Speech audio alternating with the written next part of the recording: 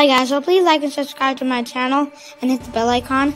If you hit the bell icon, you get notified for every video that I upload next time.